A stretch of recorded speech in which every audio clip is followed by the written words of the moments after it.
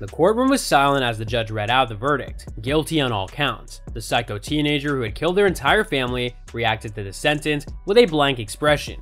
It was a shocking turn of events for the community, and the trial was closely followed by the media and the public alike, as the reality of the sentence sank in. The courtroom was filled with a mix of emotions, from shock to disbelief, and the psycho teenager's reaction was closely observed.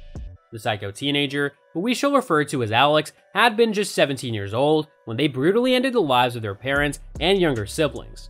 The motive for the killings remained unclear, and the trial had been gripping with testimonies from witnesses, forensic evidence, and expert opinions.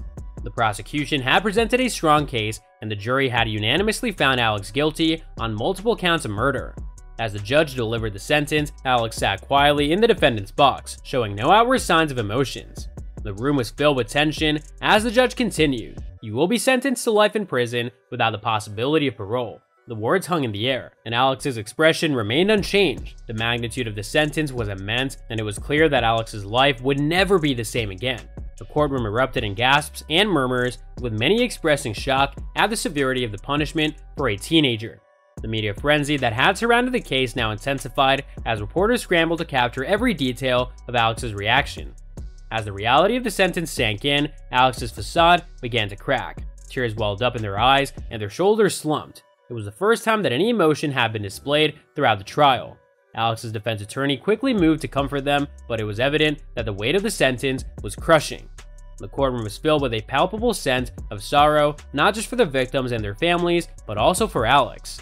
In the days that followed, the media delved into Alex's background trying to understand what could have led a teenager to commit such heinous crimes. It was revealed that Alex had a history of mental health issues, including depression and anxiety. They had also experienced a troubled family life with reports of abuse and neglect. However, none of these factors excuse the actions that had led to the killings, and the community struggled to reconcile the image of a troubled teenager with the brutal reality of the crimes committed. Inside the prison, Alex's life took a drastic turn. They were placed in a maximum security facility, separated from the general population for their own safety.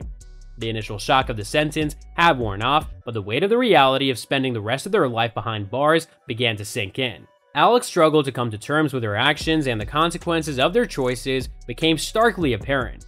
Alex's behavior in prison was closely monitored, and they received counseling and therapy to address their mental health issues. Over time, they began to show remorse for their actions, expressing deep regret for the pain that they had caused. They reached out to their surviving relatives, expressing their apologies and seeking forgiveness, but the wounds were deep and forgiveness was hard to come by. Outside the prison walls, the community continued to grapple with the aftermath of the killings. The victims' families struggled with grief and loss, trying to make sense of this senseless act. The media continued to cover the case, focusing on the impact of the sentence and the ongoing rehabilitation efforts for Alex. The trial raised questions about mental health, the legal system, and the responsibility of parents in preventing such tragedies. As the years passed, Alex's imprisonment took its toll. They experienced the harsh realities of life behind bars, navigating the challenges of confinement, isolation, and the loss of freedom.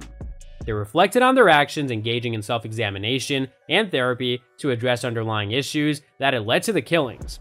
Alex also took part in various rehabilitation programs offered in the prison, including anger management, cognitive behavioral therapy, and vocational training. They sought to better understand themselves and develop skills to manage their emotions and behaviors. Despite their efforts at rehabilitation, Alex faced many challenges. They struggled with guilt and shame, grappling with the enormity of their actions and the irreparable damage caused. They also faced hostility from some fellow inmates who were aware of their crime, which added to their sense of isolation. Alex's mental health continued to be a concern, and they received ongoing psychiatric care and support to manage their condition. As time passed, Alex's demeanor began to change. They showed signs of remorse and genuine sorrow for their actions. They wrote letters of apology to the victims' families, expressing deep regret and taking full responsibility for their actions. They showed a willingness to make amends and sought opportunities to give back to the community, such as participating in restorative justice programs and speaking to young people about the consequences of violence. These efforts were met with mixed reactions from the public, with some showing empathy and forgiveness, while others remained skeptical.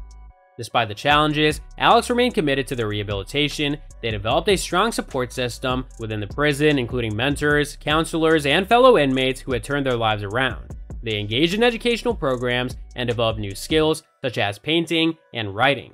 As outlets for their emotions, they also found solace in religion, seeking spiritual guidance, and engaging in practices that brought them peace and comfort. Years passed, and Alex's case was revisited for parole consideration.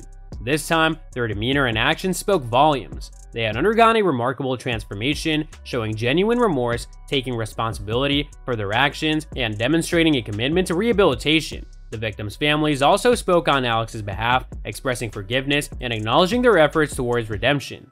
So that's all for today's video. If you enjoyed it, remember to leave a like, subscribe, and ring that bell icon so that you never miss our upcoming videos. And don't forget to share your thoughts in the comments section down below. Stay tuned, and we'll catch you in the next video.